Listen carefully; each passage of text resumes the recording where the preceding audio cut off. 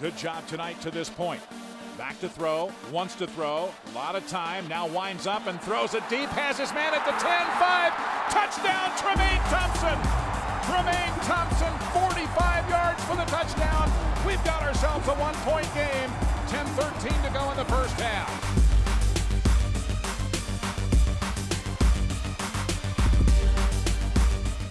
I just try to take on a, a more of a leadership role with, with, younger guys on the team and um, work hard in our off-season program and, and, put some weight on and work on my speed and uh, really hit the film room. That's all I, I, really did this off-season to get ready for my senior year. Uh, yeah, he brings a, uh, a, different dynamic to our, our passing game. Uh, we had dual threat quarterbacks, but this is the first time since I've been here we had a, a solid throwing quarterback. And we worked hard this off-season and, and he hit the film room really hard and that's why he's able to perform and do the things he does on, on game day.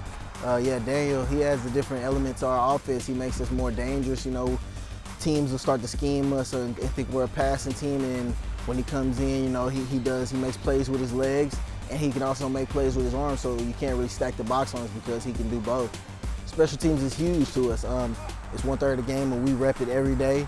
We take a, a great pride in our special teams. We've been one of the top of the nation in all categories since I've been here.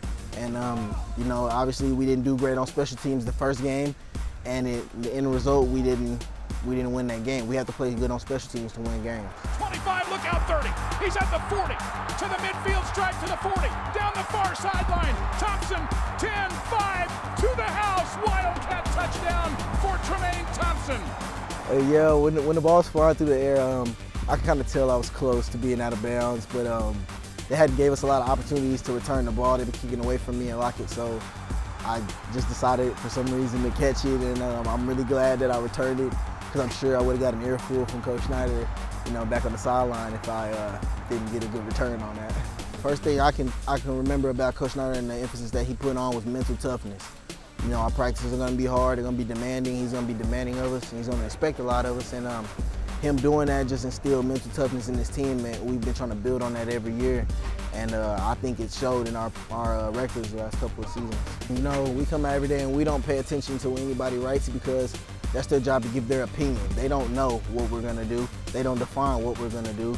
In our mind, we're gonna be number one, and that's everybody in the conference. So what they write in the paper has no effect on us. We don't care about what sports writers or what anybody else thinks. We're gonna do us at the end of the day.